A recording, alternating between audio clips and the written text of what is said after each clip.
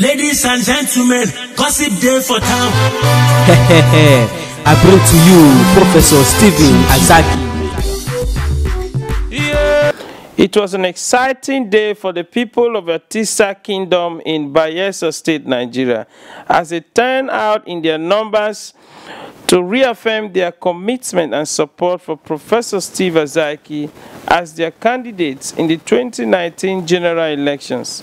Professor Azaiki was received by a mammoth crowd of youths, men and women of all ages from Ogu, Obogoro, Yenagoa, and other communities in the kingdom.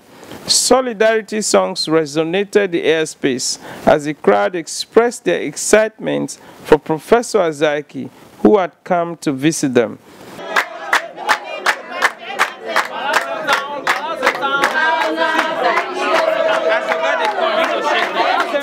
During a stopover at the King's Palace, Professor Azaiki, speaking in his PA mother tongue, reminded the people that the time had come to officially take their interests and indeed the interests of the Niger Delta people to the National Assembly and in turn bring home dividends of democracy.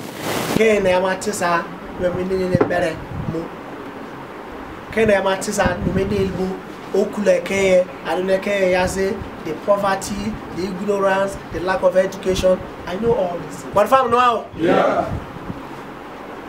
Eh, Ebe farm. Mo so be farm. Ma do go ni farm. Me ri piri no sume di de tem de ga. Kele ni farm re we gba ke o to so bo li fi go.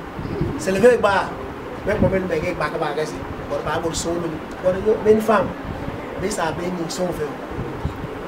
Election you on the 16th year In response, His Royal Majesty King Godwin Igodo, the Ebeni-Ibe of Atissa Kingdom, speaking on behalf of the Council of Traditional Rulers, told the huge crowd that Professor Azaiki was timely and assured him that the entire kingdom has endorsed him as a consensus candidate for the Yenagoa Kolokuma Pokuma seat at the Federal House of Representatives, Abuja.